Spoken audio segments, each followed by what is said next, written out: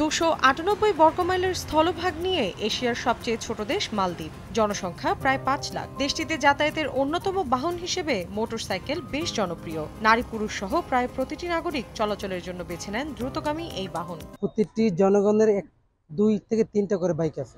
এরা বাইকে ঘুরতে খুব আনন্দদায়ক মনে করে।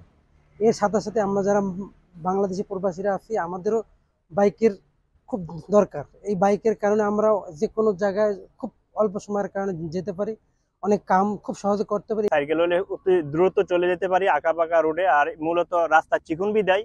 তাই আমরা বি- বিশেষ করে সাইকেল বেছে নিয়ে আইসা মালদ্বীপের রাজধানী মালে বা তার পার্শ্ববর্তী কয়েকটি শহরেই পাবলিক ট্রান্সপোর্ট হিসেবে ব্যবহৃত হয় এসি বাস ও ট্যাক্সি। তবে স্থানীয় নাগরিকরা সহজে যাতায়াতের জন্য আস্থা রাখেন মোটর সাইকেলের ওপর। এমনকি রাজধানীর বাইরের দ্বীপগুলোতেও প্রয়োজনীয় কাজে যাওয়ার সময় অনেকেই নৌকায় তুলে নেন বাইক। বিকাশ করলেই বিশ্বকাপের টিকিট হবে।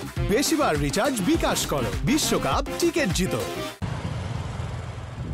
দেশটির বেশিরভাগ রাস্তা একমুখী হওয়ায় রাজধানী ও আশপাশের দ্বীপগুলোতে স্থানীয়দের পাশাপাশি প্রবাসীদের কাছেও বেশ জনপ্রিয় বাহন হয়ে উঠেছে মোটরসাইকেল। এদিকে শৃঙ্খলা মানতে সরকারি উদ্যোগে ব্যবস্থা করা হয়েছে পার্কিং স্ট্যান্ডও যা স্থানীয়দের কাছে সাইকেল পার্ক নামে পরিচিত।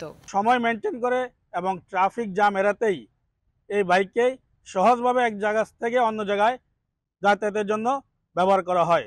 বসে থাকতে হয় না কোনো বাসের জন্য অথবা কোনো ট্যাক্সির জন্য। নিরাপদ ও স্বাচ্ছন্দ্যে চলাফেরার অন্যতম বাহন হওয়ায় পুরুষের পাশাপাশি সমানতালে স্কুটি ব্যবহার করছেন মালদ্বীপের নারীরা। সময় সংবাদ, মালদ্বীপ।